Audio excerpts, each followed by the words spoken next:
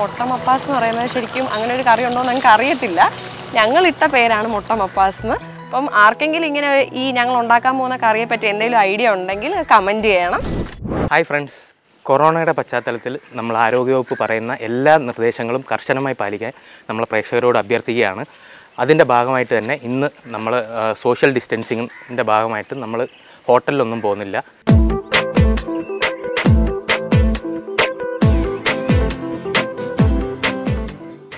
അപ്പോൾ ഇന്ന് നമ്മൾ നാത്തൂൻസ് നമുക്കായിട്ട് മുട്ട മപ്പാസും കൊഴുവ ആ നെത്തോലി ഫ്രൈയും ആണ് ഉണ്ടാക്കുന്നത്. ആ കാഴ്ചകളിലേക്ക് പോവാം.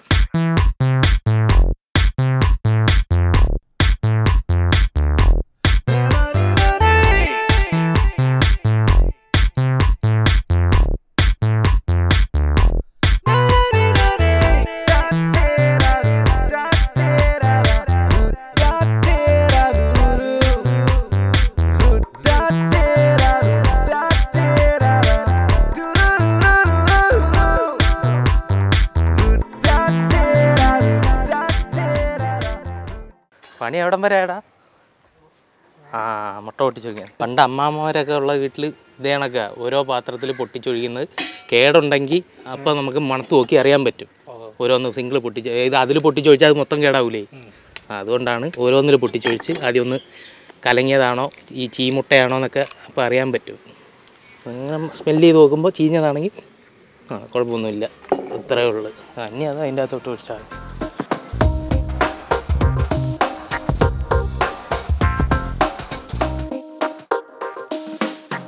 വിജി ഇവിടെ എന്തായി? നെത്തോലി. ആ കൊഴുവ. അതിന്റെ പണി നടക്കുകയാണ്. ഈ കൊഴുവ നെത്തോലി ഭയങ്കര ഈച്ച പ്രശ്നമാണെന്ന് തോന്നുന്നല്ലേ?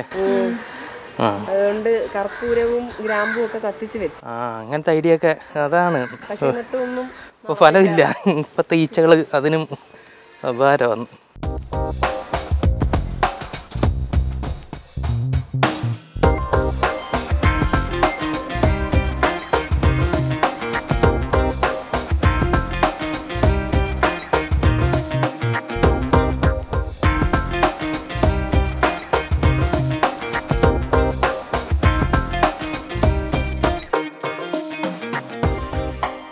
നെത്തോലി നമുക്ക് ഉപ്പിട്ട് നല്ലപോലെ വിരകി അതിന്റെ ഉലുമ്പൊക്കെ ഒന്ന് കളയാം. ഇട്ടു.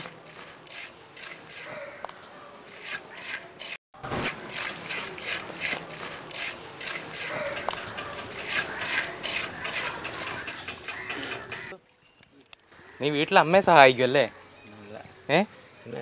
അതാ നീ ചെയ്യുന്ന കാണുമ്പോഴേ അറിയാം. ഇത് ഇത് നന്നായി അറിയാവുന്ന ഒരാൾ ആൾ ചെയ്യുന്ന കണക്കന്നെ ഉണ്ട്. ആൺപിള്ളേരെ പെൺപിള്ളേരെയും പുറകിലല്ല ഒരു കാര്യത്തിലും. അല്ലേ? കട്ടയ്ക്ക് തന്നെ നമ്മൾ നിൽക്കുന്നു അപ്പോൾ നിന്നെ കെട്ടാൻ പോകുന്ന പെങ്കൊച്ചിനും നല്ല നല്ല ഉപകാരമായിരിക്കും. അടുക്കളയെ സഹായിക്കുമല്ലോ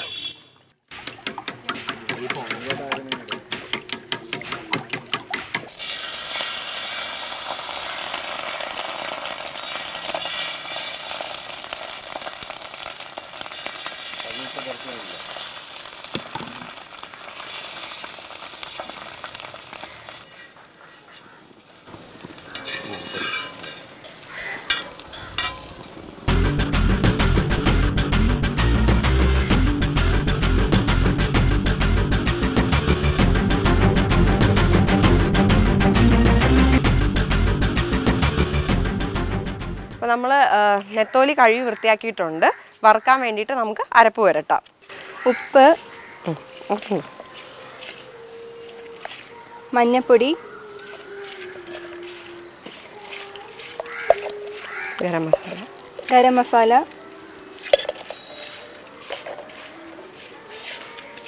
മുളക് പൊടി. ഇച്ചിരി കുറച്ച് കോൺഫ്ലവറും നാരങ്ങ നീരും കൂടെ ചേർക്കാം. നാരങ്ങ ഒഴിച്ച് പിഴിഞ്ഞ്.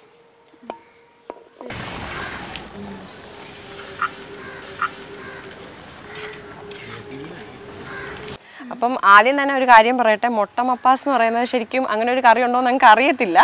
ഞങ്ങൾ ഇട്ട പേരാണ് മുട്ട മപ്പാസ് എന്ന് അപ്പം ആർക്കെങ്കിലും ഇങ്ങനെ ഈ ഞങ്ങൾ ഉണ്ടാക്കാൻ പോകുന്ന കറിയെ പറ്റി എന്തെങ്കിലും ഐഡിയ ഉണ്ടെങ്കിൽ കമന്റ് ചെയ്യണം. അപ്പം മപ്പാസിന് വേണ്ടിയുള്ള കൂട്ടുകൾ ഇഞ്ചിയും വെളുത്തുള്ളിയും പച്ചമുളക് തക്കാളി ഉരുളൻകിഴങ്ങ് സവാള അരിഞ്ഞത് കൊച്ചുള്ളി കറിവേപ്പില മഞ്ഞൾപ്പൊടി മുളക് പൊടി മല്ലിപ്പൊടി ഗരം മസാല ഉപ്പ്. പിന്നെ മിക്സിയിലിട്ട് അരിച്ചെടുക്കാനായിട്ട് തേങ്ങയും കൊച്ചുള്ളിയും കുരുമുളക് പൊടി മല്ലിപ്പൊടി മുളക് പൊടി വെളുത്തുള്ളി ഇഞ്ചിയും കുറച്ച് മഞ്ഞൾപ്പൊടി. പുതിയ ചട്ടി അപ്പം പുതിയ ചട്ടി ആയതുകൊണ്ട് തന്നെ നല്ലപോലെ ഒന്ന് മെഴുകി എടുക്കാൻ വേണ്ടി നമ്മൾ ഇതിൽ കഞ്ഞിവെള്ളമൊക്കെ ഒഴിച്ച് രണ്ട് ദിവസം വെച്ചിരുന്നു. അതിനോടൊപ്പം തന്നെ ഇന്ന് നല്ലപോലെ സവാളയൊക്കെ ഇട്ടൊന്ന് വഴറ്റി എടുത്ത് ഇഞ്ചിയും വെളുത്തുള്ളിയും ഇടാം.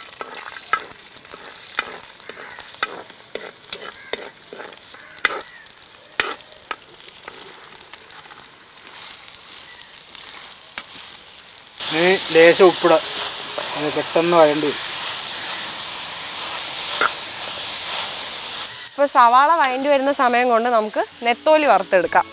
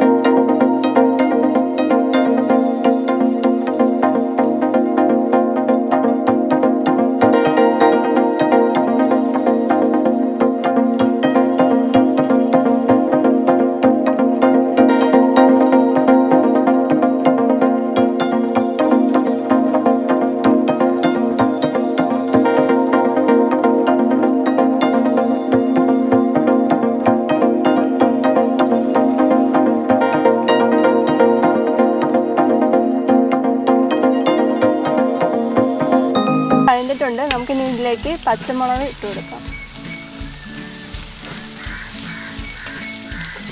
തക്കാളി ഇടാം.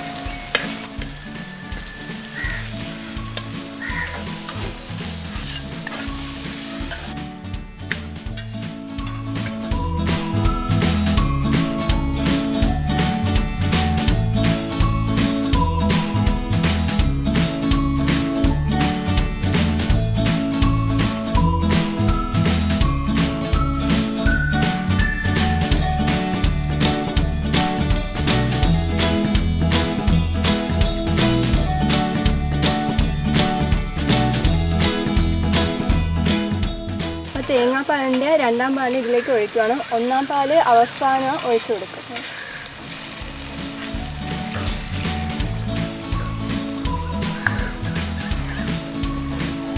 അപ്പം നമ്മൾ ഉപ്പ് മാത്രം ചേർത്ത് പൊരിച്ചു വെച്ചേക്കുന്ന മുട്ടയാണ്. ഈ ഷേപ്പിൽ കട്ട് ചെയ്തെടുക്കാൻ പോവുക.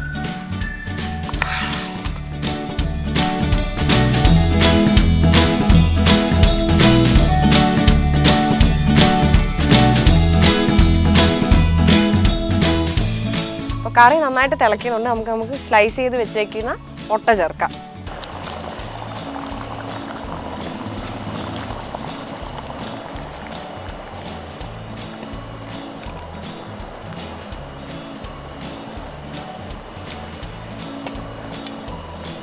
അപ്പോൾ നമ്മുടെ അവസാനത്തെ സ്റ്റേജ് എത്തി.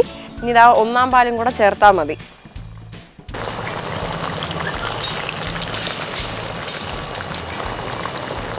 അപ്പോൾ നമ്മുടെ മുട്ട മപ്പാസ് റെഡിയായി കഴിഞ്ഞു. ഇനി തീയുടെ ആവശ്യമില്ല. നമുക്കതൊക്കെ മാറ്റാം.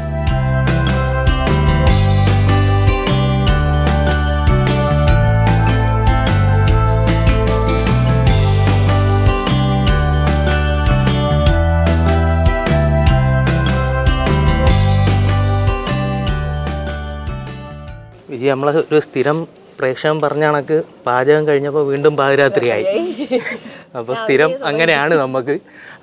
അത് പക്ഷേ ഞങ്ങൾക്ക് രാത്രി ഒരു കൂട്ടായ്മയായിട്ട് കഴിക്കാൻ പറ്റിയൊരു ഒരു ഒരു അവസരമായിട്ട് ഞങ്ങൾ കണക്കാക്കുന്നു. പിന്നെ ഇന്നത്തെ ഒരു ഈ വിഭവം എന്ന് പറഞ്ഞു കഴിഞ്ഞാൽ ഒരു പ്രത്യേകതയുള്ള ഞങ്ങൾക്ക് പഴയ ഓർമ്മകൾ തരുന്ന കുറേ ഒരു ഒരു വിഭവമാണ് ഈ മുട്ട മപ്പാസ് എന്ന് പറയുന്നത്. ഇത് ഞങ്ങളെ അമ്മാമ്മ ഉണ്ടാക്കുന്നതാണ്. അതിന്റെ നല്ല നല്ല ഓർമ്മകൾ ഇപ്പോൾ വരുന്നു. എന്തായാലും നമുക്ക് ആ രുചി ഇത്തവണയും കിട്ടുമെന്ന് നമുക്ക് പ്രതീക്ഷിക്കാം. അതിന്റെ കൂടെ ചോറുണ്ട്. പിന്നെ അതിന് പറ്റിയൊരിതാണ് ഈ ബ്രെഡ് എന്ന് പറയുന്നതും. എന്തിന്റെ കൂടെയും കഴിക്കാൻ പറ്റിയ ഒരു വിഭവമാണ് ഈ മുട്ട മപ്പാസ് അതുകൂടാതെ കൊഴുവ നെത്തോലി ഫ്രൈ അല്ലേ? ഇത് ഇത് രണ്ടുമാണ് ഇന്ന് നമുക്ക് ഇതിന്റെ കൂടെ ഉള്ളത്. എന്തായാലും തകർക്കും. ഏ? കഴിക്കാം. ഓക്കെ.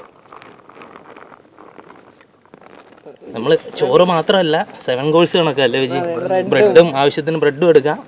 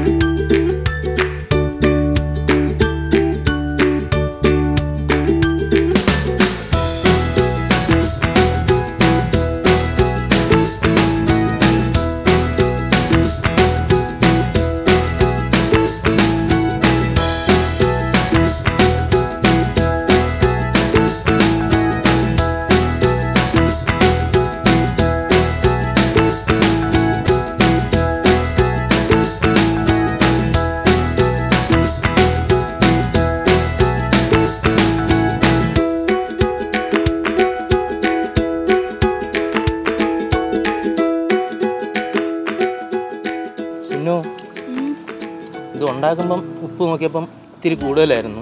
ഇപ്പം അത് കറക്റ്റായി എന്തായിരുന്നു അതിന്റെ ടെക്നിക്ക് നമ്മുടെ മനുവിന്റെ നാരങ്ങ ടെക്നിക്ക് ഏ. മനുവിന്റെ പൊടിക്കൈയാണ്. കൊള്ളാലോ. How is the food boy super wonderful